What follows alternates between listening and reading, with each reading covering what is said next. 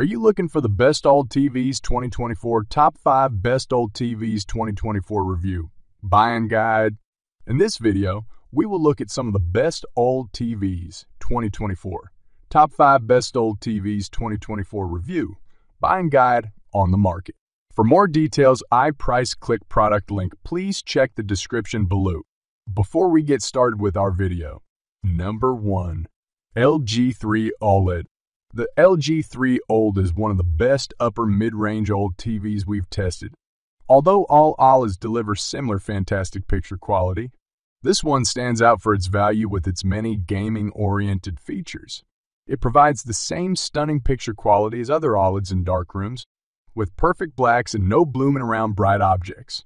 However, it uses a different OLED panel than the Samsung S90 OLED or the Sony A90.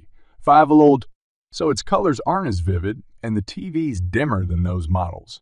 On the other hand, it's available in a wider range of sizes from a small 42-inch to an impressive 83-inch size.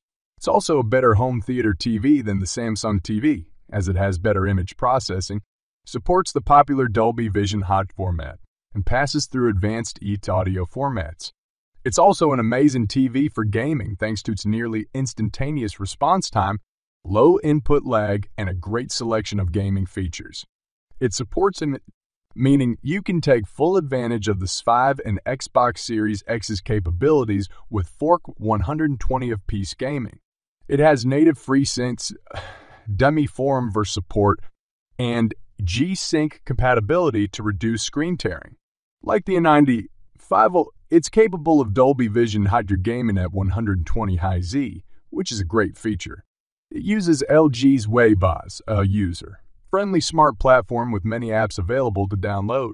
The LG C4 OLED is also available. The main difference with the new model is that it supports Fork 144C gamers with only very minor upgrades in some other areas.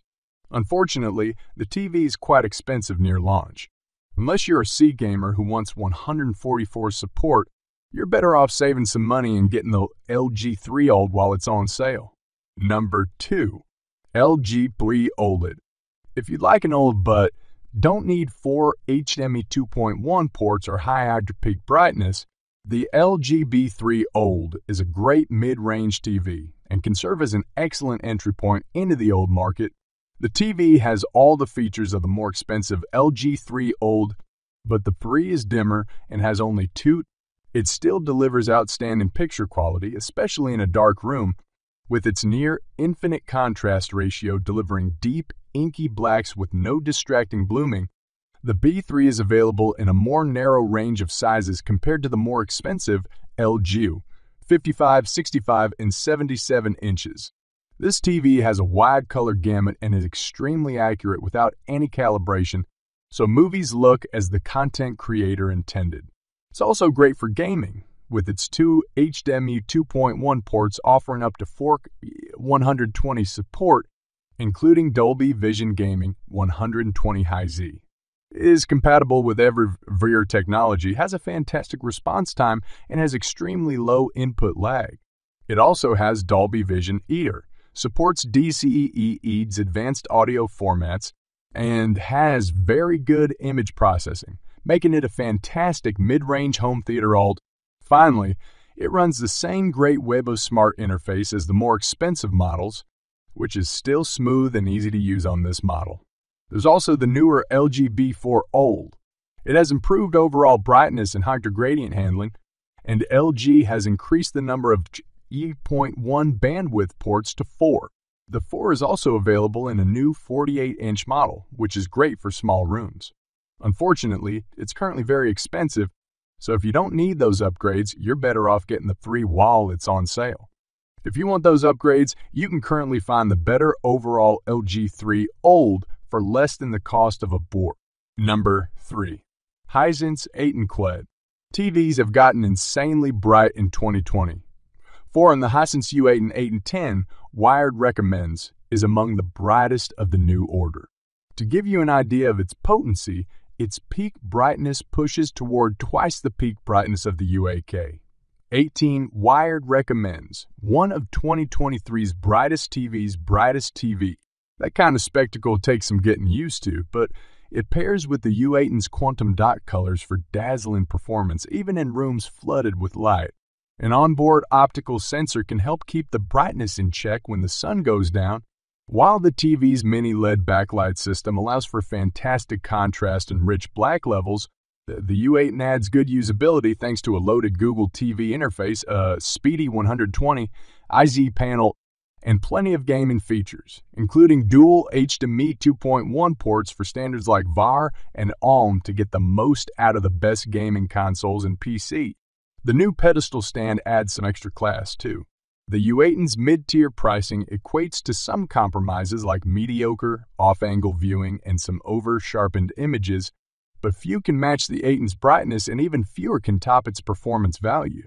Number 4.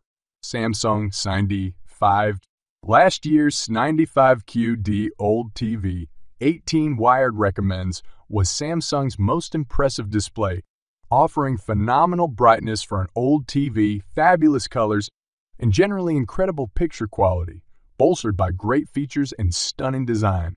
For 2020, 4, Samsung takes an even bigger swing with the S95 810, Wired recommends, adding an anti-reflective screen coating for incredible glare resistance.